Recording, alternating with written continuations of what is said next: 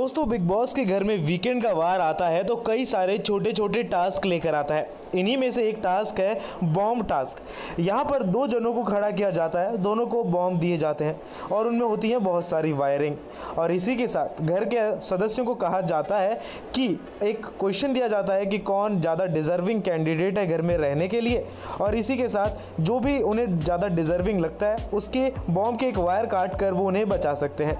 अब घर के अंदर ये जो टास्क है, दो लोगों के बीच में होने वाला है। माहिरा शर्मा और आरती सिंह। अब यहाँ पर घर के अंदर दोनों ही जो प्लेयर्स होने वाले हैं, उनके तारों को काट कर घर वाले ये बयां करने वाले हैं रीज़न के साथ कि वो क्यों डिज़र्विंग है घर में रहने के लिए। यहाँ पर ग्रुपिज़म साफ़ नज़र आएगा, लेकिन होगा दरअसल यूँ कि हो जाएगा टाई ब्रेकर यानी कि दोनों को बराबर लोग ही तार काटेंगे और टाई ब्रेकर बनेगी शेफाली। दोस्तों, आपको बता दें कि शेफाली जो है, अब आरती और मायरा में से किसी एक का तार काटेंगी और वो ये टास्क जीत जाएगी। तो अब शेफाली जो है, अपनी दोस्त आरती का ही तार काटती है और कहती है कि वो ज़्यादा डिज़र्विंग है।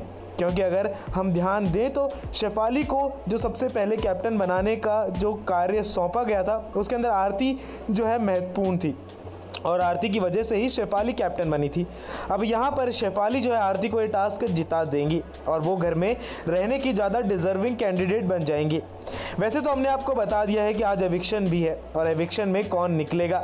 दोस्तों, आपको बता दें कि एविक्शन के दौरान दो लोग बहुत ज़्यादा डेंजर जोन में जाएँगे।